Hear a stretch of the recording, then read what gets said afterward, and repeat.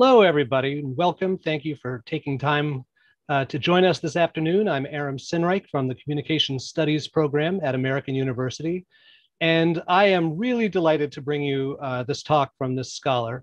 Um, this is somebody who I've known for a long time, even though she's still a relatively new scholar. Uh, she was actually my master's advisee at NYU uh, 12 years ago when I used to teach there. And even at the time, I thought she was an extraordinarily brilliant budding scholar with really innovative ideas at the nexus of technology, society, politics, culture, media. And uh, it's been my uh, distinct pleasure to watch her uh, develop her creative and scholarly approach to these subjects over the, the last decade or so as she got her uh, doctorate at McGill University in, uh, in Canada and then uh, it's been wonderful to have her uh, as a uh, as a term faculty member in the Communication Studies Division at American University School of Communication for the past year. She's been a wonderful addition to our team. Our students absolutely love her. And if you don't already know her work, I think you're going to see why.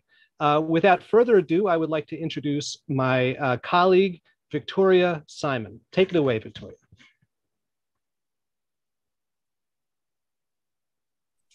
Thanks, Aaron, for the warm welcome and for moderating this event today. Thank you so much to Matt Seklecki for organizing the event and the terrific work he's done there.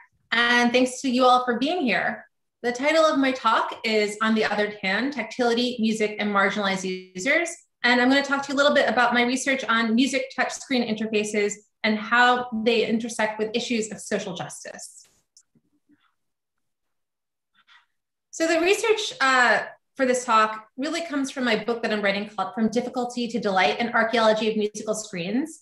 And here I chart the history of music touch screens and the unknown influence that musicians, professional musicians, um, and as well as people with disabilities have had on the history of the touchscreen. So um, I'm going to today only talk to you about like a few different case studies and uh, just uh, brief takeaways from the book. We're going to wind up with the iPad and we're going to begin with this uh, experimental music touchscreen from the 70s, which from invented by the composer Iannis Xenakis.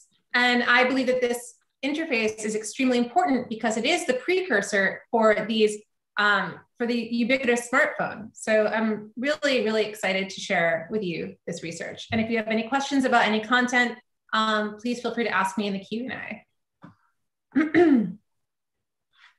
so my work is very much embedded in the design justice uh, movement. And Sasha Costanza-Chock just wrote a book called Design Justice. And essentially what this is all about is how can we, um, how can interfaces and algorithms really be designed with these issues of issues, not issues, but with, um, through thinking about social justice and bias. And my work is very much motivated by these issues of marginalization of users and inclusivity. So the way in which I approach these questions is through this framework, um, where it's not just about outcomes, you know, whether or not the outcome of design is marginalizing or discriminating against users, but it's also about the narratives of the design. What stories are told about these interfaces and their benefits to users? What are the values that are encoded and amplified in user interface design? And how does social bias get fed through the design process? So not just at the ideation phase, but also at the user testing phase and also in the proof of concept phase. So ways in which social bias and broader cultural values get fed through the design process, um, it, there's there's really many different approaches that we can take to this uh, to this issue, and I try to, to do a more multifaceted approach in my discussion of users. So the methods that I use to um, assess issues of social bias and inclusivity are archival. So for this particular research project, I went to the archives in France and Greece, the Xenakis archives, and looked at documents of how the touchscreen was sold, touchscreen was sold to the public at that time. Um, also excavated documents about the sort of blueprints for these for these designs and um, yeah, archives. Um, interviews, I I interviewed developers as well as users. I did semi-structured long-form interviews. I also did participatory ethnography. So not only did I, um, like for example, not only did I go to Berlin to interview the developers of music apps, but I also engaged in the user testing process myself. And I had them test their, their technologies on me in the same way they would test it on anybody else. I also do something called multimodal sensory design analysis. And if that means nothing to you, that's like completely fair. Um, what it means to me is that I engage in the technologies. I actually I analyze them in terms of uh, their tactile, sonic, and visual dimensions. Um, and I just kind of play around with them to analyze the interface design. I this forms part of my ultimate scholarly research creation. So not only am I um, a a scholar, but I'm also a sound practitioner. And I'm an intersectional queer sound practitioner. And this kind of, I, this sort of positionality in relationship to the research has really informed the questions that I raise in regards to the interface. So for example, um, uh, so yeah, so in terms of the questions of diversity, equity, and inclusion that I bring to the interface, uh, I, I came across these questions because I realized that not all people inhabit the designs of technology alike. And it is because of my research, because of my hands on work with these interfaces, and because of who I am that I, uh, that, that's kind of what led me to the research in the first place. So now I'm going to dive right into my first case study, which is the UPIC, which was invented in 1977 by Iannis Xenakis, a composer. And the UPIC was an interface that was designed to make something that was really quite bookish, um, quite academic, and uh, arguably boring, which is to say the process of learning a musical instrument and learning about electroacoustics, electroacoustics, sorry, and making it fun and tactile and impulsive. And I, am gonna let this, this guy is a composer from uh, who is leading a workshop on the UPIC, and this he's demonstrating what the UPIC is. So I'm going to let him explain it to you a little bit, and then whatever he doesn't get to, I certainly will.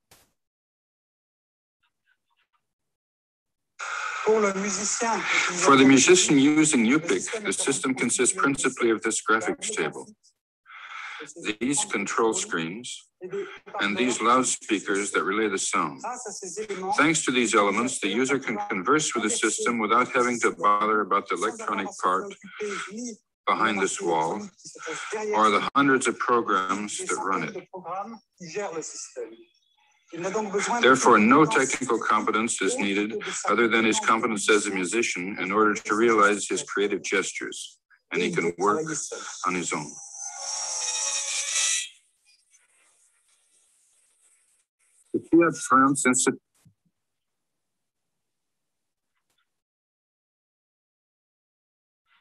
So what's interesting to me about this UPIC was that it's the first diversity initiative in music technology.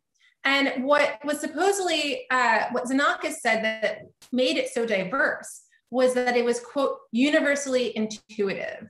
And the reason it was so universally intuitive was because the idea was that anybody can draw right? And if anybody can draw, anybody can now create music. Uh, and it was framed as this empowering interface for the user, uh, framed as a way to uh, amplify the user's sense of agency here. And by that, I mean, here we have a, uh, this from the user manual of the UPIC, which I found at one of the archives. And here it says, with the UPIC, the user does not need to have any computer knowledge. Everything goes through the hand which draws. So in effect, it's saying that um, there, and it goes on to say that there's no pre-established like constraints or affordances within the interface design. It's this blank slate metaphor. Um, and it, and here you see in all caps, it is the user who decides, right? So it's the user who has this amplified sense of control because they're effectively drawing in every aspect of the sound from micro to macro compositional structures. And here was, and um, this is from Xenakis's journal, which essentially is saying that the heart and essence of sound is to be able to touch it with fingers. So this is from 19, in the 1950s. And Xenakis is thinking on tactile interfaces for music production actually stems, there's a long history of thinking about the relationship between a musician's connection to their instrument. So there's a long history of intellectual thought, Western intellectual thought specifically on this subject um, that I know of. And it is about this sort of this tactile connection and sort of romanticization of the way in which um, musicians interact with their instruments. And so for Xenakis, the musician must be able to engage tactically uh, with the sound itself. And so Xenakis went on this mission to essentially show that drawing sound is something that anybody can do from any culture and that it is something that really uh, transcends all cultural barriers. It transcends anything to do with language, um, anything to do with ability, gender was something he also brought up. Um, and it was really this sort of universally intuitive interface design. And here he, he held demonstrations in various countries just to sort of prove that this interface could be used by literally anybody. And here is a photo that I found of one of the demonstrations that was in Japan. And here you have a Japanese uh, child who is using the interface. And there are tons of these. When I was excavating and you know looking through all these documents, I found so many journal articles about how uh, what the UPIC was able was enabling was that now children can like create symphonies, right? There was this idea that children could like um, this was unleashing this hidden capacity of people to make music. But then I also interviewed users and they're like, no, no, children were not making symphonies. Trust me. um, a lot of users were, were, definitely debunking this sort of this idea that was sold to the public about this uh, capacity of the interface.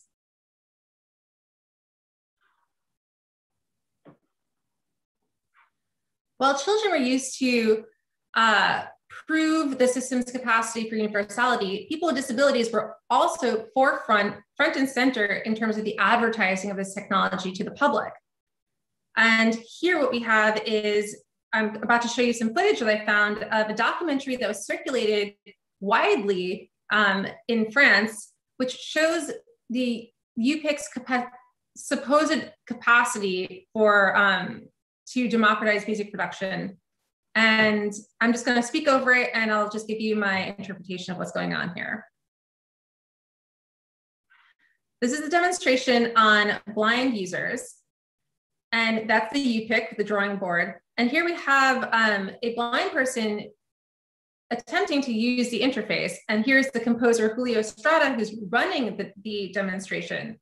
And in fact, he supposedly this interface was just you can just easily impulsively use it, right? It was supposed to be totally intuitive. But here we have Julio Estrada literally taking this man's hand and maneuvering it and showing him exactly where to um, where to press the stylus so that he can actually operate the interface, right? The interface wasn't so universally intuitive as it was portrayed.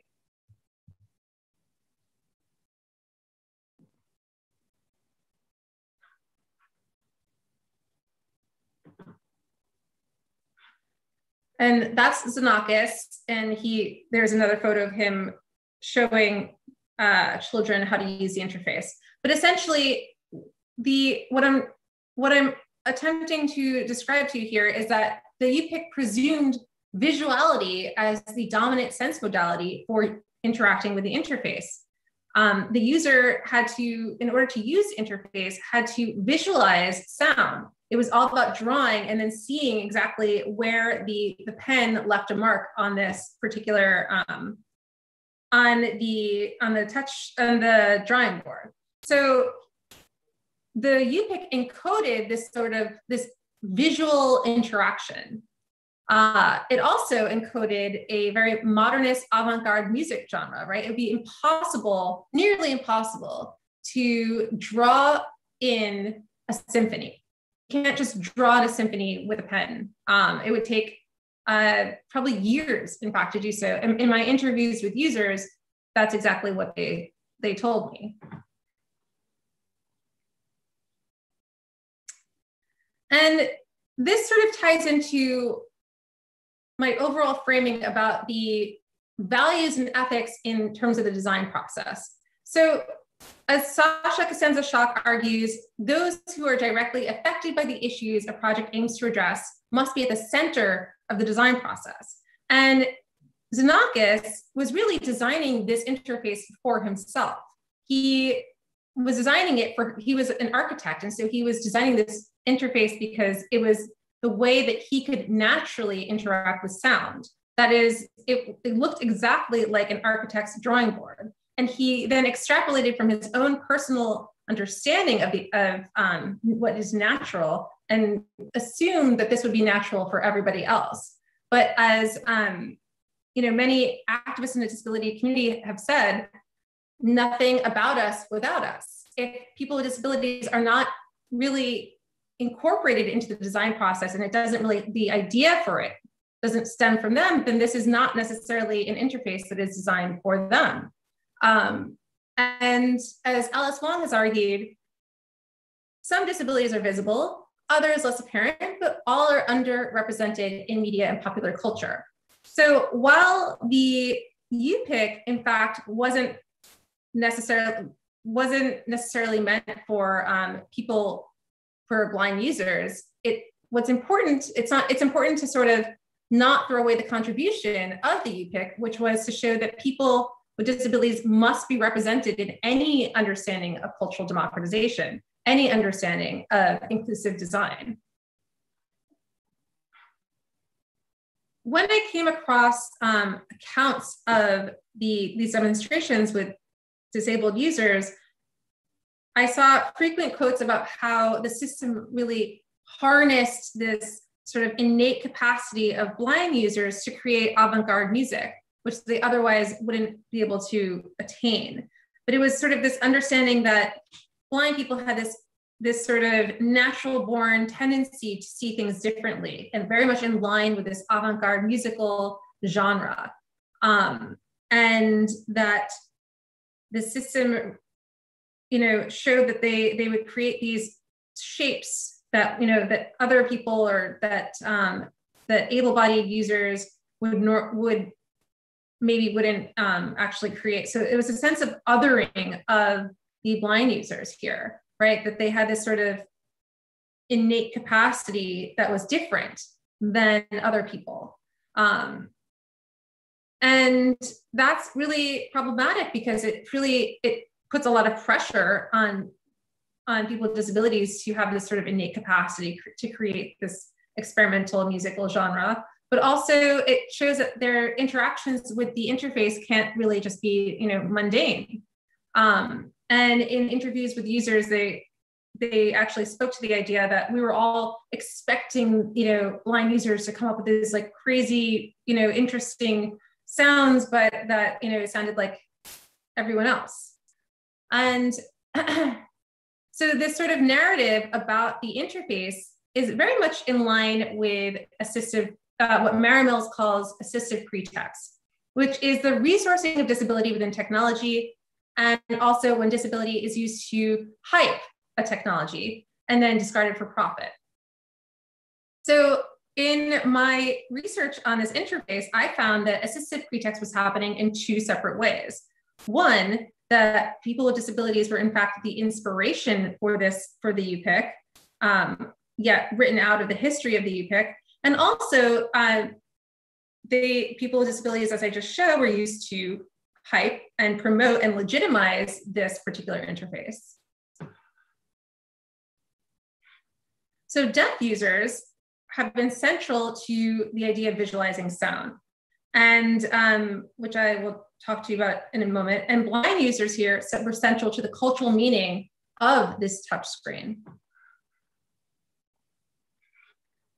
screen. Talks about the this um, technology called the spectrograph, which was essentially a, a technology to visualize sound so that, and it was one that was de developed in the 40s and it was meant for um, deaf people to be able to visualize their speech patterns and in order to sort of uh, mold them, mold their speech into what they consider to be normal speech patterns. So the idea of even visualizing sound itself, which was central to the UPIC, actually was inspired by, um, by deaf people and deaf culture. the idea that the system should be um, inclusive of people with disabilities itself and the, the, sort of cultural narrative around that came from the work of disabled uh, disability rights activists uh, in the 60s and 70s. So if it weren't for disability rights activists, this particular technology wouldn't have um, included people with disabilities in the cultural framing of the technology to begin with. So where is UPIC now? Well, it is behind some brooms in a basement in the center, uh, the, what is it? The, sorry, the Center for Iannis Xenakis in Rouen, France, where I did my archival work. And, but does that mean that we should just, you know, discard it? Does it mean that it isn't relevant anymore? Well, no, I would say that the UPIC is extremely relevant um, because it influenced uh, not only because of this sort of cultural meaning that attached to the interface in terms of this sort of universal design and um, idea that it was universally intuitive, but also because it influenced a very little known interface called the lemur. So this is a photo of the of Jazz Mutant's Lemur. Jazz Mutant was a company that produced this multi-touch touchscreen interface called the Lemur, and it was used by famous musicians all across the world. Here is a photo of uh, Daft Punk, the now defunct Daft Punk band, using it in the Grammy, uh, their Grammy Award ceremony in 2008 for their song Stronger. Uh, we have Bjork using it, Richie Hawtin, Nine Inch Nails, any number of people were using it at this time. And this was circa, you know, 2000, probably between 2005 and 2008. Um, and the iPhone came out in 2007. And so Apple um, claimed to have invented multi-touch, but certainly that wasn't the case. In fact, this is a, a use, a commercial use of multi-touch that was invented back in 2004. I'm not saying that Lemur invented it. In fact, a company I think called Fingerworks invented it but this was a commercial application of the technology prior to Apple. And I argue that the lemur was in fact proof of concept for the smartphone and the tablet technology, right? Like here we have musicians um, toting the toting this interface and sort of making it cool and showing that it could be used in this context. And I interviewed the developers for the for the lemur of the lemur. And they they said that Apple was actually the, the first to purchase their device back in 2004. So I think that's pretty interesting.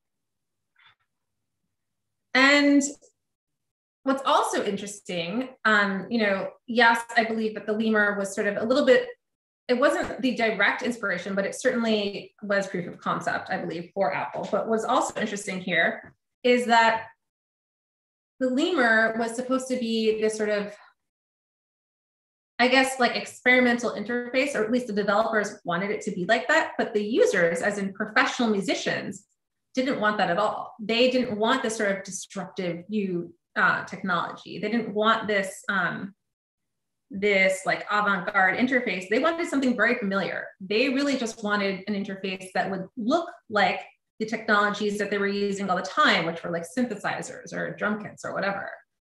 They um, and so they pushed for the interface design to do, to use more skeuomorphic or um, metaphors for what they what they were familiar with. So here we have a sense of user agency in the design process here.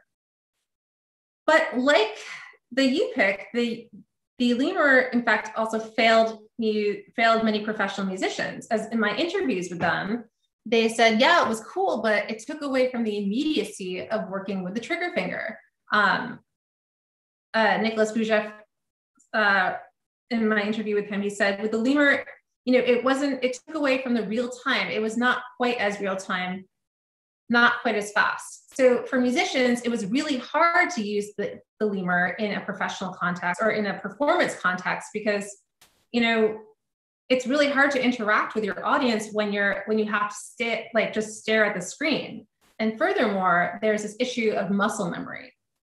Uh, in instrument design, like for example, in the piano and a violin, you learn how to use the instrument through years of training by the sort of embodied knowledge that you gain with the instrument design. And without that kind of tactility, um, it's almost impossible to have that. So the, the lemur presented this really visual form of interface design, which failed the professional musicians who were using it in the same way that the visuality of the UPIC failed the blind users who were using um, the interface.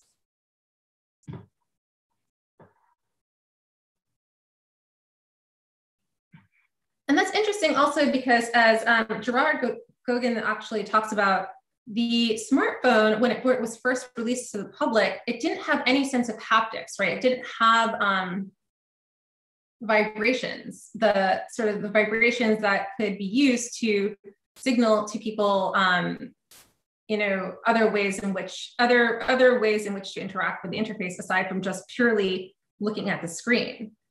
So when before the interface had any form of haptics, uh, it actually discriminated against a wide swath of people with disabilities. And yet, as we see here in this quote, it is touted as this great equalizer. The, the touch screen here is touted as a way to include technophobes, kids, senior citizens, people with visual or hearing impairments. Um, suddenly, users could just navigate their phones with a few swipes of a finger. Kids intuitively seem to know how to use it. And I guess there's that, so there's that word intuitive that I, I do find problematic because not everyone can intuitively use this interface and to sell it and to create this, this, paint this narrative around it as universally intuitive and accessible, I believe is very problematic in the same way that the, the, the smartphone isn't intuitive to all, just in the same way that the UPIC was not intuitive for all either.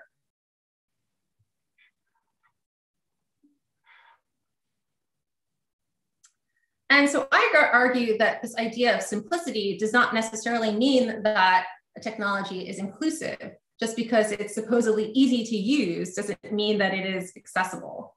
Um, so in the recent work I do on uh, music app developers and the way in which they configure users in the design process, each of the de developers I interviewed argued that their particular design, because of the use of smart, smart algorithms and the way in which they prevented the user from making mistakes, would be designed for, quote, everybody, anybody, and regular people and in including this, this idea of everybody, right, this sort of universal user, they also describe these interfaces as fun, quote, positive experiences, right?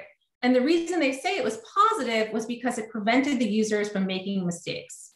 So if the user can actually fail in terms of their engagements with the interface or make fail in terms of like making a mistake, then you know that would be synonymous with this idea that it was fun and inclusive and I and I use queer theory and also disability studies to kind of poke holes in this idea of this positive experience as universally fun, right? Um, just because the just because an engagement produces a outcome of you know perhaps positivity meaning that like the user isn't isn't um, pre- isn't i guess interacting in some sort of erroneous way with the um, with the music app for example it doesn't you don't hear any uh, any notes that might sound or sound not in line with like a you know a pop song or whatever it is um, I argue that this idea of positivity and fun is very much gendered. It's very, it comes from a very heteronormative place. And also it's ableist. Um, it is ableist insofar as it presumes that what people want is this experience of musical ability. What people want is this kind of human perfectibility, this idea that everything um, should feel like it's affirming the user's sense of self and affirming themselves as this wonderful musician.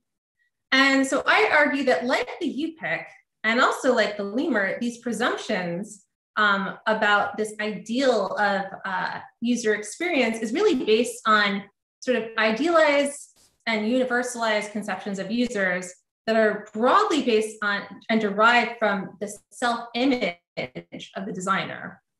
When a design is not tested on the community of users in which it is designed for, and when a design really stems from a more theoretical perspective, the design ends up reinforcing the sort of habits and subjectivity of the designer. And this is something that has been spoken about in the field of science and technology studies. Uh, it's a term called I-methodology, right? So these designers are, while they say they're designing for everyone, are in fact designing for themselves. So in my work, I use um, queer theory and disability studies to envision different norms in technological design. And I'd certainly be happy to answer any questions that you may have about that in the Q&A. So thus far, I've, um, so far, in sum, uh, here are the themes that I have discussed today. Uh, the untold history of how disability rights activists and musicians were central to the cultural formation of the ubiquitous smartphone and tablet, how disabled users are socially marginalized, but yet central to the history of many important technologies, and how simplicity is not inclusivity. And I critique uh, the, this idea for, that it is an ableist discourse in the stories that we tell about inclusive technology design and ideas about user agency and universal design. And I believe that's all. Oh no, there's more. so my research goals in general are to challenge the normative and ableist presumptions that do circulate around these ideas of universality, to identify how technology and its surrounding cultural discourse can be informed by more anti-oppressive political principles, and also to promote diverse norms. And I'm very excited to hear any questions that you may have and thank you so much for listening and watching and reading. And um, yeah, I'm just very excited to talk to you all about my research. So thank you. Uh, thank you so much, Vicki. That was that was fantastic. And um, this is one of those cases where I wish we had like you know maybe nobody else would stick around, but I wish we had like four hours to to delve into all of the different threads that you've woven together here. So given that we have a limited amount of time, let me jump in uh, and try to encapsulate the, the whole Megillah in one question. Um, so what I think is most interesting about your work, and I come, you know, I'll acknowledge my bias as somebody who's interested in social justice, technology, and music, uh, as you are.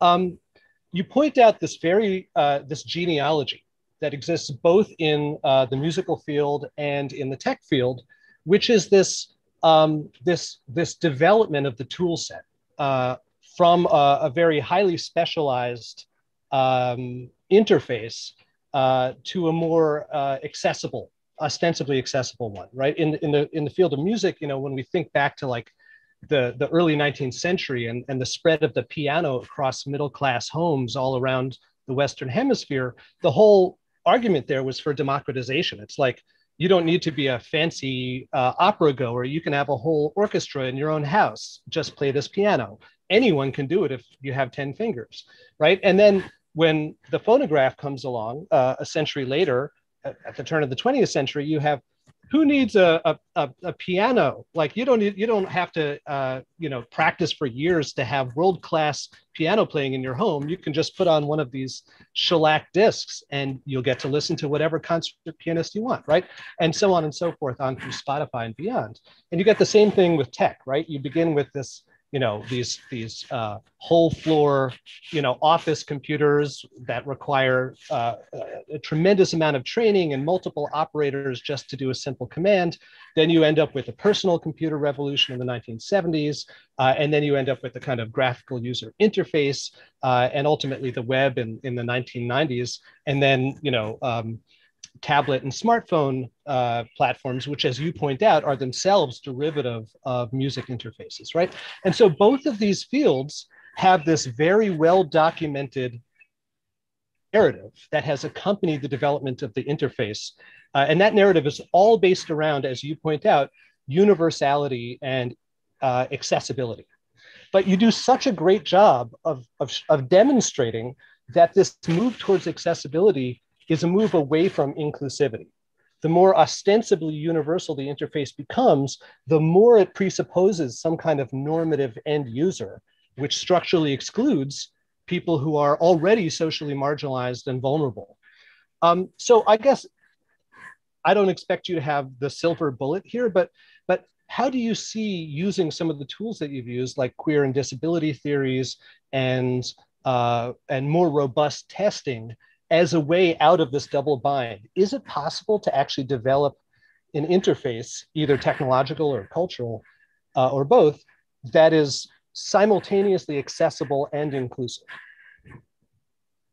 Uh, thank you for that wonderfully worded question, Aram. Um, yeah, uh, I think as you point out that certain ideas about universality, right? The idea that we can actually include every single user in some sort of um, understanding of interface design, this also may not be possible, right? Like this idea of universality or, or universal design, we can sometimes we can think about this like it's a very nice idea, and people should be perhaps designing for um, people should be designing for marginalized users in in mind, absolutely. But it is an sort of an ever receding horizon because you can't actually anticipate all user needs. That's something that you know has to happen on the ground. It has to be everything like you have to be constantly testing on like different user groups, and there is no such thing, I think, as one sort of completely accessible um, interface design. Uh, but that said, there are ways in which designers can also design for and uh, communities of users can interact with designers to create interfaces that may um, present themselves in ways that may sort of attend to the, the user's needs, right? So for example, so what I think, when I think about queer theory um, and ways in which we can use queer theory to rethink the sort of the norms and assumptions of design, I'm thinking more about issues such as like you know queer affect like ways like ways of getting around this this norm that like fun means immediate pleasure that kind of thing. And like what is pleasure? What is fun? Whose fun is inscribed into that interface right? And if you're not testing on the community of users or on a diverse community of users or if you're not incorporating say for example queer users in the idea and design of the interface you're going to get one you know you're going to get a designer who is probably going to be a white able-bodied man um, who is hetero like heterosexual you know thinking about what it is they find fun right? So can, and, can, sorry go ahead. Yeah so so it's designing the issue here is really designing from this highly theoretical point of view. And when you're not incorporating the community of users in which you're trying to serve um, in various phases in meaningful ways, then you're invariably going to get this um, the end, this idea of the end user as you know um, one that you may not want. so, so do you think that um, you know one of the things that uh, audience studies uh, and STS scholars have done a lot of work on in the last 20 years is showing how sometimes it's not the sometimes the affordances that are engineered into an interface by the designers are not used in the way that they would have expected, uh, or uh, sometimes there are secondary affordances that they weren't even uh, completely aware of engineering into the interface that themselves become generative of new uses, new cultural ideas, and open the, the, the technologies up to new audiences. Can you think of uh, like a good example of how, for instance, a uh, a, a, a, sit, a cishet designer may have created a technology that would have found a secondary application with uh, with queer users, or how an able designer would have found, developed something that had secondary applications with disabled users. Yeah, I mean, what what comes to mind right now, um, and I believe uh, Jai Virdi just wrote about this, is the the new uh, Nike sneaker that just came out. Um, there, there's these sneakers that actually allow you that, that actually put themselves on you, so that you don't have to tie laces or anything like that. So, and who is this kind of sneaker good for? It's good for people perhaps you know who don't even have who don't have hands. Um, and these sneakers right now, which are very like mainstream, with like, you know, my friend just got one. Uh, these were designed by like and for people with disabilities. Yet at the same time, the the sort of the framing of it in the popular discourse, like nobody really knows that. so right. like, disabled populations were very much there in the in the design process. Um, and were written out of the cultural framing of of the sneaker. So why, why do you think that is? Well, I think the reason that is is because I mean the way it's framed right now is that like we it's you know Nike cares about accessibility, but the the word disabled doesn't show up anywhere and it's not really at the foreground of the of the the tech design so um, I think that's because disability still has a stigma attached to it. So you think Nike is afraid of tarnishing their brand by associating themselves with disabled customers? Yes.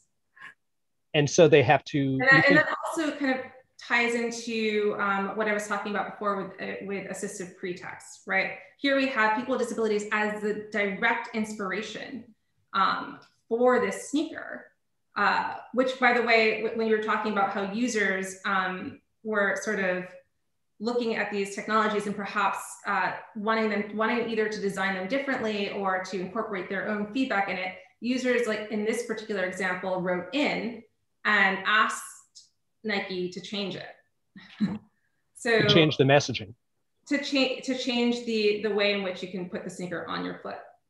Um, so you know, that's a way in which like uh, people with disabilities were sort of in a sense like, I don't know, remixing the sneaker. I don't know. well, establishing this feedback loop certainly with the with the designers, right? Which is which is maybe uh, part of part of your broader answer to how can we square that circle between accessibility and inclusivity is like, well, of course, the end users are part of the design process right this this whole notion of like the and this is i think where your your invocation of remix theory is really useful is like this notion that there is like a a, a linear supply chain that goes from resourcing a product to kind of post consumer waste just in one direction is an absurd idea that has no place in in uh, certainly in a networked post-industrial uh, environment right yeah. so so why not bring various communities uh, with very different needs and perspectives and expertise into the design process through these feedback loops. Yeah. And it will yeah. Invariably make it, you know, make the design better.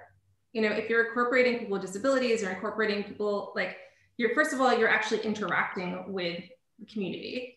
Um, so it's not like you're it's stemming from your own idea of what is what the what the community actually wants, but then you're going to you know design for different form, like different needs, you know, and I think that's great. Like you'll, you'll have more of a grounded sense of design as well.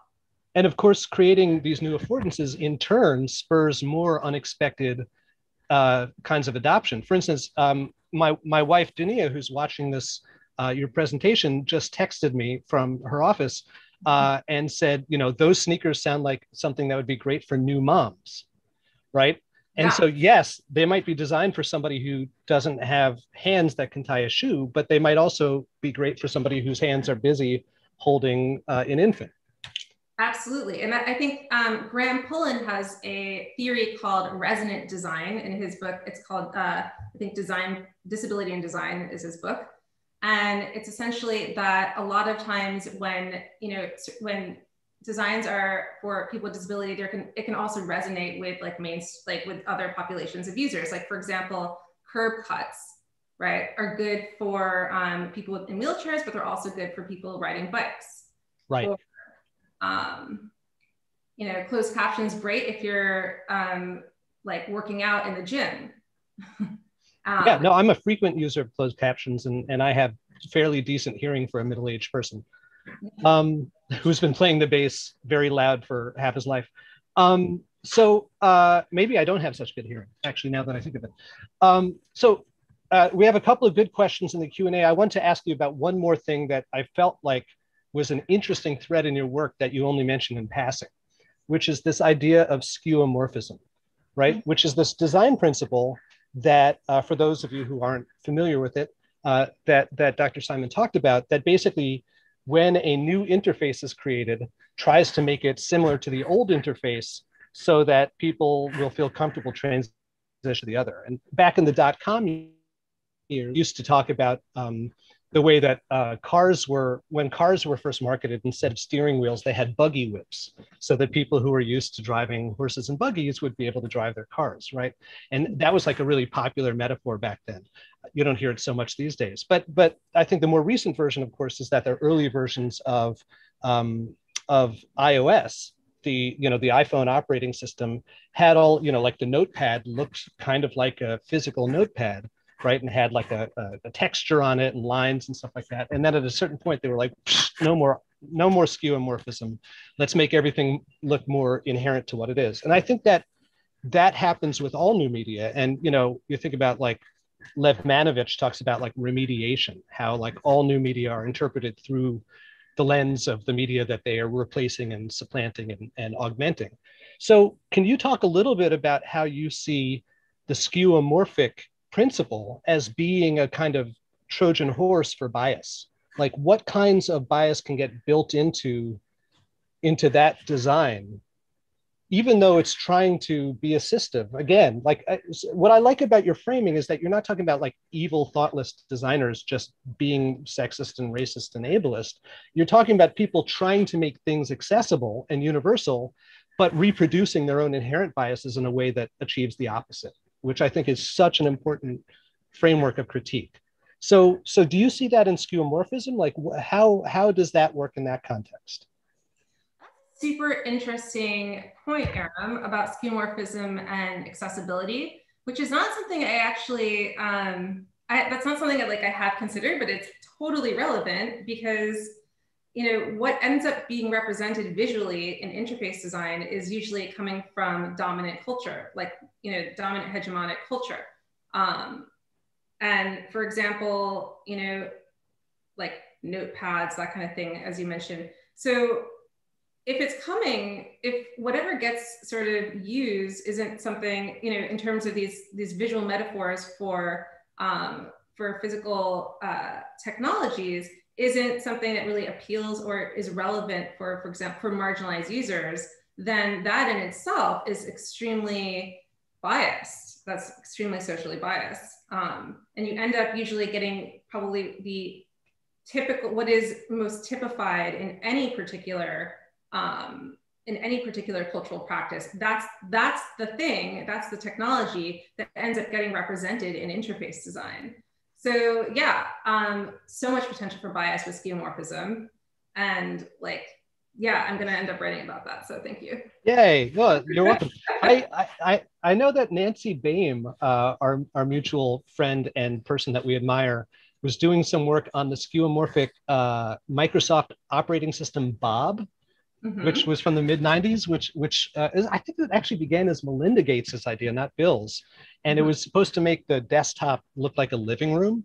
But I remember at the time being like, I've never lit. I'm like this. Like I feel like I've just been invited to someone's mansion. You know, there's like a blazing fire, and an armchair, and, you know. So I, I think your I think your take is is absolutely right. Um, so, we have a question. Sorry, go ahead. It's so great because okay, so about I, I might be giving a talk on um, I think in the music uh, American Musicological Association actually about this issue of skeuomorphism as a conservative approach to um, musical interfaces. And I'm going to talk about the lemur, my example of the lemur. Um, but yeah, like it is really, it's really politically conservative in the way that you just kind of talked about. So yeah, that's great. Thank you. Sure. Um, so, so Tony Harvin asks, do you think people with disabilities who are active runners in this case want to be labeled disabled? I think he's talking about the, the Nike example you talked about. Or will they, the disabled users, be more receptive of a product that's framed as accessible, right? Um, sorry, let me. Yeah, sorry. Let me let me re repeat that. So so Tony's trying to get into this, in, into the kind of messaging that surrounds splitting the difference between accessibility and uh, and oh, well, yeah. what you talk about is about the difference between simplicity and inclusivity, right? Yeah, so, no, I think that I think what I'm sorry, Tony. Um, Tony Harvin. Tony Harvin, uh, that's an excellent question because I think you're getting at this idea: Do people with disabilities want to be labeled exactly as disabled? I think that you know, I think that there is probably tons of different there's lots of people who are disabled and people with disabilities who may want to be defined in terms of culture, culturally disabled, uh, and like identify with like a community of um, other people with disabilities as well. But then I think there's also people who don't.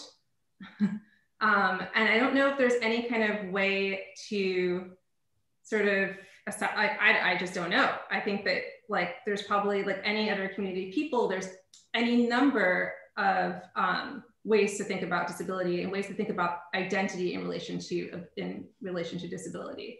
So, you know, that's I, I would say that's not really my call. Fair enough. Um, let me ask you. Uh, I, I, I think that we only have another seven minutes, so uh, I, am interested. Disability is a bad word. That's how. It, that's kind of you know. A lot of people are like, well, just you know, disability or di differently abled, and you know, trying to like get around it, but the, no reason why disability should be something that people are ashamed of. Agreed whole, wholeheartedly. Um, so, uh, let alone the brands that serve them. Um, so, so I, I, I want to know a bit more about your path into this, right? So you identify as a queer female musician, technologist, scholar, right? Which is a, I think, a very um, useful position to come into this field. But like any scholar, you only inhabit the position that you inhabit, and you have to infer other people's um, perspectives on the same issues. Can you maybe tell us a little bit about how your experience as a as a music producer using technology led you into this set of questions? Like, what was it about the world that you encountered that made you say, man, I need to research this. Something is not adding up. Absolutely. That's a great, I mean, that's a great question. Um, yeah, there's a bunch of things. Like, for example, I was using um, multiple forms of interfaces, multiple commercial interfaces, um, and noticing, you know, certain similarities that they would have. For example, the MIDI piano roll and, you know, the linearity of the interface. Um, and these were things that I didn't really you know, at first I was like, okay, I have to really, you know, I have to adopt to this particular interface design. But I'm like, but why am I feeling so constrained right now? You know, and also there's so many clear cultural assumptions that are encoded into this interface design, like from a very European um, musical perspective. And this was quite clear to me, not even having any kind of, you know, culture theory knowledge, just like, you know, playing around with these interfaces and being like, well, is this, you know, my quote authentic expression, or is this really coming from the, the software itself? And so I got really, you know, excited about the idea of critiquing um, this, these sort of, these interfaces through like by under, understanding that the fact that it was probably they're probably made by like white men you know who have a very like you know european perspective on things. And you know, how can we design interfaces that are, that are, are alternative or perhaps, you know, approach the, um, approach music from a like subaltern perspective in some sense, right? Um, and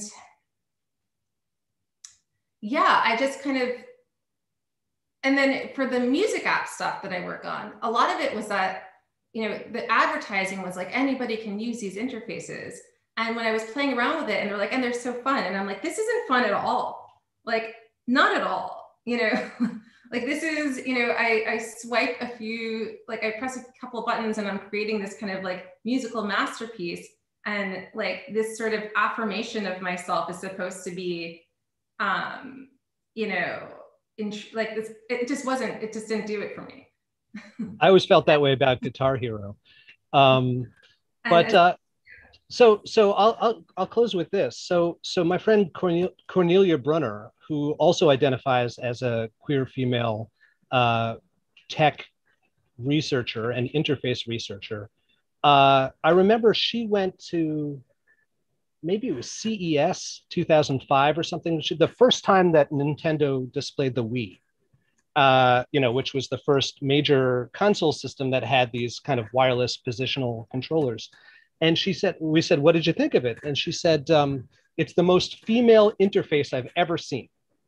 And she meant this, you know, from a feminist perspective, like this was this incredibly powerful, you know, uh, de- democratizing, liberatory, you know, that no longer were you using presumably the phallic joystick, but but there was something inherently female about about that platform and, and that, that style of interface. And I've always thought that was a really interesting comment, uh, but I'm not sure whether it's true. Do you think that an interface can be coded with gender that directly, or is it, or or does the, the does the coding come more from the interaction between the designer and the end user? Mm, that's a really that's a really good question. Um, I don't I don't think so because I don't think that you can really essentialize gender either way. Um, you know, I think that that joystick that you're talking about sounds very like it's symbol. It's very symbolic of something, you know. And I think it's more of a cultural construction of the technology rather than some some sort of uh, you know encoded way in which identity like happens. I think it's all performance. Um, I think it's all performance and construction. And yeah, I do think that there are certain things that you can design for, like for, when I talk about queer queer theory as it relates to design, you know, I'm talking about ways in which queerness has been culturally constructed in ways in which affects such as like discomfort or um, failure or these kinds of uh, experiences like irritation, annoyance, that kind of thing. That is a queer experience, not because queer people are annoyed, you know, or because queer people like innately feel this sort of discomfort, but that's a cultural construction of queerness. Um, so yeah, I don't really have a straightforward answer for that, but that's that's my thinking on it right now. Well, as promised, uh, we only uh, began to to plumb the depths of of your research here. I think it's just phenomenally interesting, valuable, important, uh, generative stuff. I can't wait to see the book that you are writing. Uh, and thank you so much for spending the hour with us and, and spending your, your year with American University School of Communication. It's, it's great to have you uh, be a member of our team. Thank you, Aram. It's delight to be here. And thank you so much for inviting me to give this talk. And let's definitely talk soon. for sure. Uh, Matt, back to you if you want to close things out.